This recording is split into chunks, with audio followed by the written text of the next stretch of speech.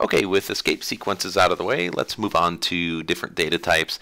I know escape sequences and escape characters isn't the most fun thing in the world, and you won't use them terribly often with the exception of probably the new line escape sequence, but there's something we have to go over, so I'm, I'm glad we powered through that.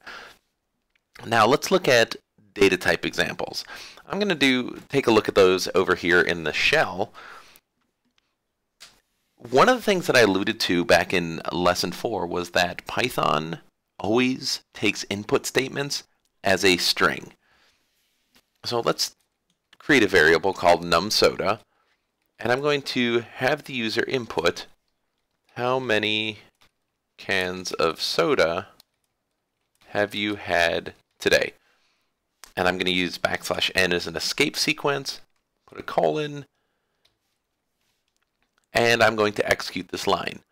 I can see the escape sequence was interpreted correctly. How many cans of soda have you had today? And I've been pretty light on the soda today, believe it or not. I've had three so far. And so now num soda is equal to the value of 3. Now I'm going to have another variable called num coffee equal to input. How many cups of coffee have you had today? Backslash n colon. And just like the last line, it says how many cups of coffee have you had today? And I've had one. And I can take a look at that variable and I can see that num coffee is equal to the value of 1. Then I'm going to create a third var variable called beverages, and I'm going to set it equal to the number of sodas I've had plus the number of coffees I've had. And if this works correctly, I sh it should come back and say 3 plus 1 equals 4, and so beverages should be equal to 4. But when I check beverages, it's not equal to 4, it's equal to 31. There's a big difference between 4 and 31. That's because Python interprets all input as strings. It's no different than if I said, I want AA plus BB, it returns AABB.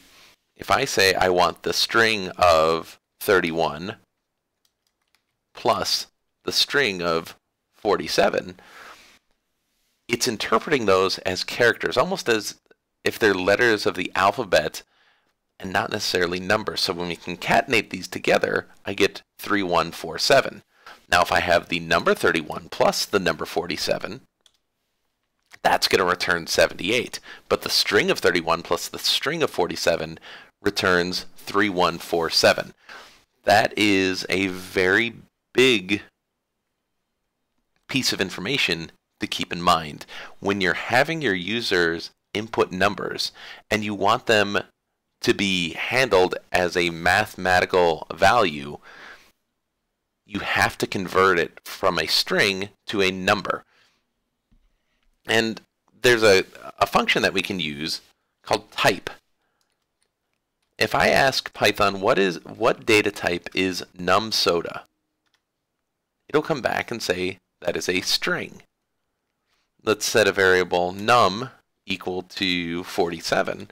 And if I say, Python, what is the data type of num?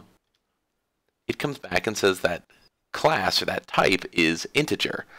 And then if I had a number, and we'll start in a variable number 2, and we'll call it 3.14, and I ask Python what type is num2, it's going to come back and reference it as a float. So the type command is relatively useful. The most common way that I use the type command is in program debugging when I can't quite figure out why a program isn't executing correctly. A lot of times I'll look at my variable and run the type command on it to see what type of data I'm using, and that's a pretty common problem for me when I'm writing smaller programs. We'll look at a couple other ways to use the type command as well, for, but for right now, uh, the type function just returns the type of data that is stored within a variable. Now there's two, well, I guess three. There's three different functions that we can use to convert data back and forth. There's the str function, the int function, and the float function. The str function converts any data to a string. The int function converts any data to an integer, and the float function converts data to a float. So very quickly, let's just look at beverages again. Beverages is equal to the string of 31. If I want to convert that to an integer, I can say the int of beverages. And when Python returns this, it doesn't have the delimiters, the string delimiters around it. So by typing int beverages, I'm telling Python to interpret this as the number 31 is the integer 31 and not the string 31. Similarly, I could type float beverages and Python is going to return the string of 31 as if it were a float. Now I can't convert letters to an integer. If I had a string called name and let's set it equal to Steve, if I tried to get the integer of name, it would come back and give me an error, invalid literal for int with a base 10 Steve. It's Python's way of telling you you're trying to convert to a number something that isn't a number. But if we go back to our example at the top, I know num soda is equal to 3, the string of 3, and num coffee is equal to the string of 1. And if I do num soda plus num coffee, I'm going to get the string 31. But if I take the integer value of num soda and add it to the integer value of num coffee, I'm going to get the proper response, which is 4. So if I want beverages to be correct, I've got to set it equal to the integer value of num soda plus the integer value of num coffee. When Python interprets this, it will take the numerical equivalent of num soda and num coffee, add them together, and now beverages is equal to 4 as it should be. Okay, so we've gone ahead and cleared our screen, and we're just going to look at a practical application or a practical program that we could use that utilizes some of these concepts here. So I said I've got shell cleared on the left, and over here I'm going to write a program, and we're going to call this our beverage counter. The point of this program is going to ask the user to input the number of sodas they've had plus the number of coffees they've had, and then our program will add those two numbers together and print a statement or a message to the user letting them know how many drinks they've had in a day. So just like I did in the shell, I'm going to set a variable num soda. I'm going to set it equal to the input statement of how many sodas today. I'm going to use my escape sequence. And then I'm going to do the same thing for num coffee and set it equal to how many coffees today. And I'm just going to test the program here. Press F5 to run it. It's been saved as test.py. And it says how many sodas today? Three. How many coffees today? One. And just for, for now, I'm going to do a print statement in which I take num soda plus num coffee and see what I get. And if I have three sodas and one coffee, it prints 31. Now this is the problem that I was talking about over on the left. Both 3 and the 1 are being inputted as strings, and so when they're concatenated together, we're getting 31. This would be the same problem if, if I were to execute it and say I've had uh, oops, 10 sodas and 4 coffees, it's going to print off 104. And so there's the, the first thing I want to do is I want to convert the response to an integer. So I'm going to have beverages, the variable, be equal to the integer value of num sodas plus the integer value of num coffee. And we when we add an integer to an integer, we get a number. So I'm going to change my print statement to print beverages. And I'm going to run this program. How many sodas did you have today? Four. How many coffees? Two. And it prints six. So right now, my program is able to take the number of sodas the users had plus the number of coffees the user have had and add those two numbers together to get a real integer number of beverages. But that's kind of a boring message. We want to print a creative message to the user or a more exact message. So I'm going to start by just printing maybe a row of asterisks. And then I'm going to have it print you have had plus beverages beverages today. And when I do that, how many sodas? Four, coffees, two. I get can't convert integer to string implicitly.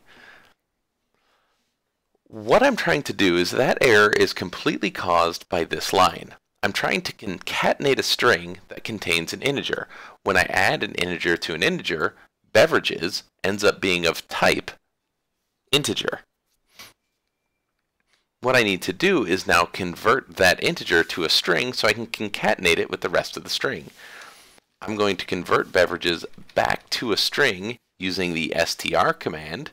This is the first time we've seen this, but the str command just converts data to a string type. So it's going to take in the last case, the number 6 and make it the string of number 6. And that is a string can concatenate with the rest of a string.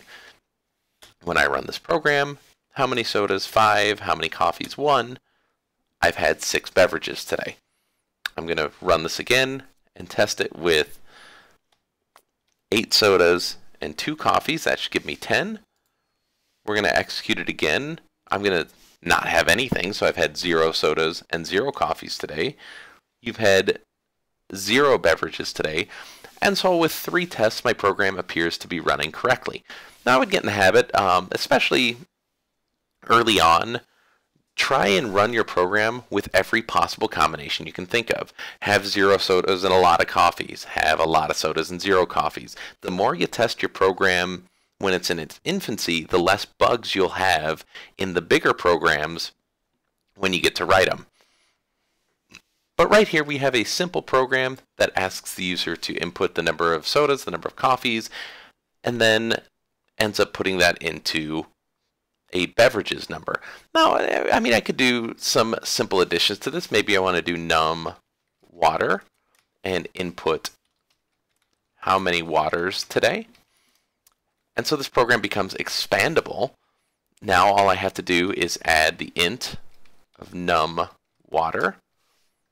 Now I'm adding three numbers together, executing the program. How many sodas have I had? I've had three sodas, one coffee, and four waters. 3 plus 1 plus 4 is 8. Now I have 8 beverages today. So this program is relatively bug-free. Looks like it's working okay.